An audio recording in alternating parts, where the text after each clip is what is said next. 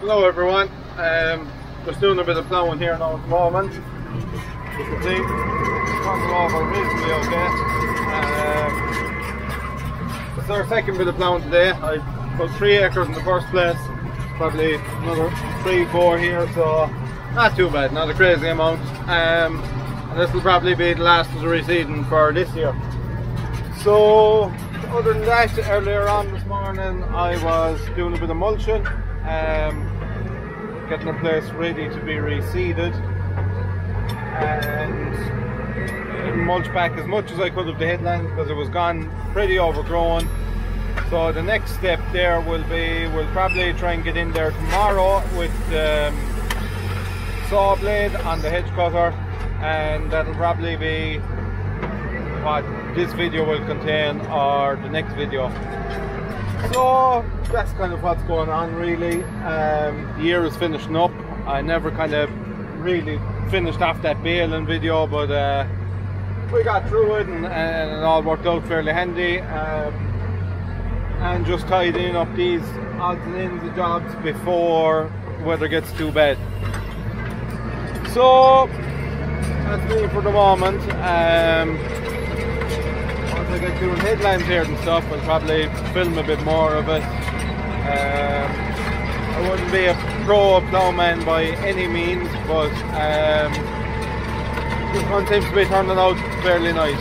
So that's me for now, and um, when I'm doing the headlands here, I'll probably talk to you there again soon.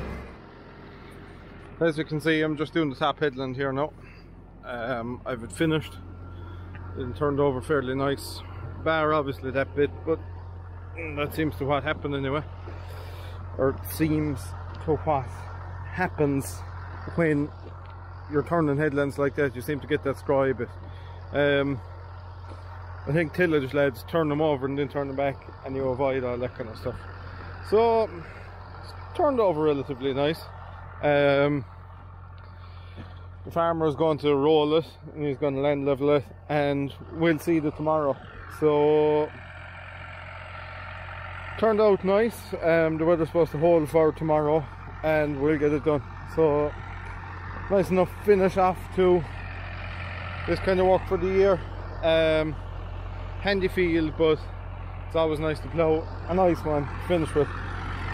Put a good shine up on the board before we put the plough away anyway. So that's all a good thing. Um, that's about it really. I'll probably talk to you when I'm seeding it. Don't know whether it'll be me or the father because the father is seeding already today. So might be him seeding it tomorrow. I don't know. We'll see how we're getting on. Um, I'll get the saw rigged up on the hedge cutter.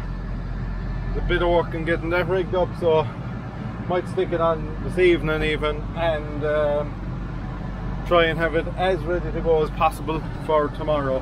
So that's about all from me now at the moment and um, I'll speak to you there later on when we're putting on the hedge cutter or when we've it on some time around that anyway.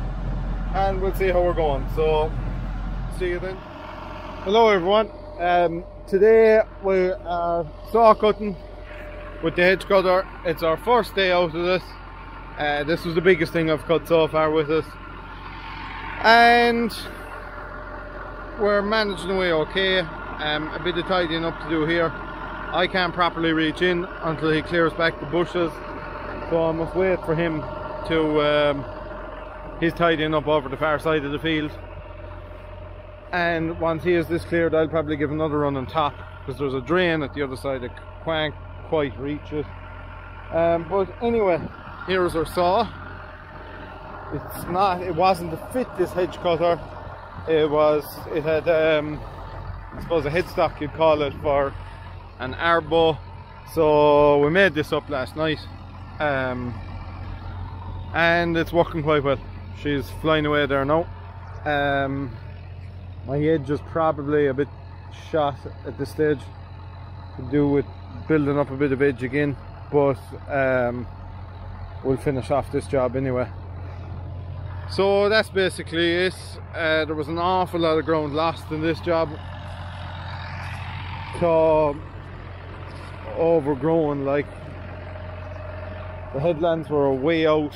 Um, even coming through here with machinery it was getting fairly tight. It's only a small field this one's a bit bigger. Um, we added it up it's about an acre and a half there was lost. So he'll keep pushing away the bushes and um, I'll give it a tidy when he's finished. And we'll probably be reseeding here in the spring I'd imagine. I think that's the whole point of doing this job. So yeah it was a bit of a learning curve using the saw my first time at it but um, enjoyable enough work nonetheless I have no guard but I don't really need a guard for this stuff because it kind of just snaps and falls opposed to chipping. And the stuff on top there probably would chip so that's the stuff you need a guard for. Because you get a bit the bit that's cut seems to come around again and fly.